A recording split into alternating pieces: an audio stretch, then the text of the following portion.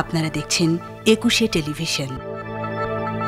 Corona সংক্রমণ রোধে স্বাস্থ্যবিধি যেমন মেনে চলতে হবে, তেমনি প্রয়োজন সামাজিক ও ব্যক্তিগত সচেতনতা। ফেনীতে গণপরিবহনে চলছে নৈরাজ্য, ভাড়া বেশি হলেও বিধি মানছে না কেউই। জেলা প্রশাসন বলছে নির্দেশনা অমান্যকারীদের বিরুদ্ধে ব্যবস্থা নেওয়া হচ্ছে। তবে যাত্রী ও গণপরিবহন কর্মীরা সচেতন না হলে আইনের যথাযথ প্রয়োগও সম্ভব নয়। ফেনী প্রতিনিধি নজরুল ইসলাম রঞ্জু রিপোর্ট জানাচ্ছেন মাসুম আলিসা ফেনীর মহিপাল টার্মিনাল থেকে চলাচলকারী বেশিরভাগ গণপরিবহন মানছে না স্বাস্থ্যবিধি। অধিকাংশ মালিক করোনাকে পুঁজি করে বেশি লাভের আশায় এমনটি করছেন বলে অভিযোগ যাত্রীদের। তবে যাত্রীদের মধ্যেও এ বিষয়ে সচেতনতা কম।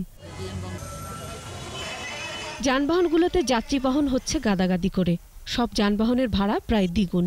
এ নিয়ে যাত্রী ও পরিবহন কর্মীরা জড়িয়ে পড়ছেন তর্কাতর্কিতে। একজন বসার কথা। সে জায়গাতে প্রতি সিটে একজন করে বসার স্বাস্থ্যবিধি মানা হচ্ছে না এখন। সরকার যে কথাটা বলছিল যে প্রত্যেকটা সিটে একজন একজন করে সরকারের সাথে তারা ওয়াদা দিয়া তারা ওই ওয়াদাটা এখন ভঙ্গ করতেছে। দাঁড়াই থেকেও আশি টাকা করে ভাড়া নিচ্ছে? ডবল সিটও আশি টাকা ভাড়া নিচ্ছে।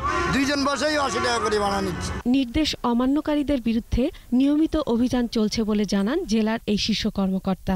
আমরা সতর্ক অবস্থানে আছি এবং একাধিকবার যে জরিমানা করেছি যদি প্রয়োজন হয় হয়তো আমরা কঠোর হব। জনগণ যারা আছেন যারা এটা ব্যবহার করেন, তারা যেন একটু স্বাস্থ্যবিধি মেনে চলেন। বর্ধিত ভাড়া প্রত্যাহার এবং স্বাস্থ্যবিধি মেনে পরিবহন চালানোর প্রয়োজনীয় পদক্ষেপ নেয়ার দাবি যাত্রীদের। আর যাত্রীদের সচেতন হওয়ার পরামর্শ জেলা প্রশাসনের।